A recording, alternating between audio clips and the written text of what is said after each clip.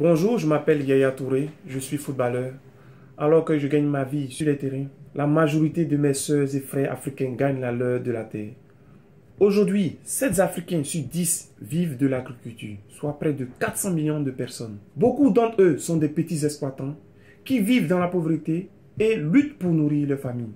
Ça ne devrait pas être ainsi. En faisant de bons investissements, les Africains pourront non seulement se nourrir, mais aussi nourrir le monde. En 2003, les gouvernements africains ont fait la promesse d'allouer 10% de leur budget national à l'agriculture. Seuls 8 pays en ont tenu cette promesse. En tant qu'Africain, je sais qu'on peut mieux faire.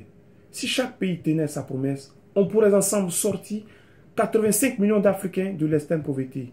Et c'est cette Afrique-là qui nous rendra fiers. Mobilisez-vous à mes côtés pour dire à nos dirigeants d'eau agric, l'agriculture, ça paye. Rendez-vous dès maintenant sur one.org.